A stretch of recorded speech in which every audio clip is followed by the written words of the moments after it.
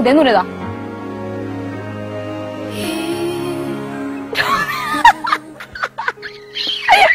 네, 그리고요, 어, 어, 닉네임, 닉네임 루루님께서, 어, 말, 머리에 꽂는 마시멜로는 진짜냐고 삐이냐고 물어봐 주셨는데요. 이거 진짜 먹는 마시멜로예요. 먹을 수 있는 거예요. 먹는 걸 이렇게 핀으로 이렇게 꽂아놨어요. 이거, 이거 끝나면 주희 언니가 먹어요.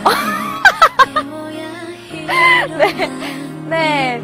그리고요, 어, 이제 닉네임, 닉네임 이태리안 언니께서 피자 좋아하시냐고 물어보셨는데. 네, 저 피자 엄청 좋아해요. 어떡해. 어떡해, 나 너무 울어. 네.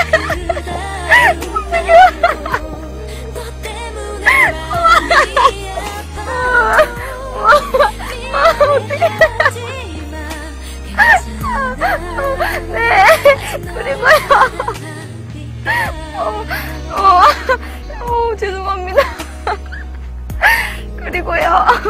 어, 어, 스위티님께서 아이유 이번 두 번째 미니 앨범에 아이유 개인적으로 가장 애착이 가는 노래는 뭔가요? 라고 보내주셨는데 저는 지금 나오고 있는 아침 눈물도 굉장히 좋아하고요. 우리 제가 제일 좋아하는 이종훈 작곡가님께서 직접 써주신 두근두근 데이트 5번 트랙도 되게 좋아해요.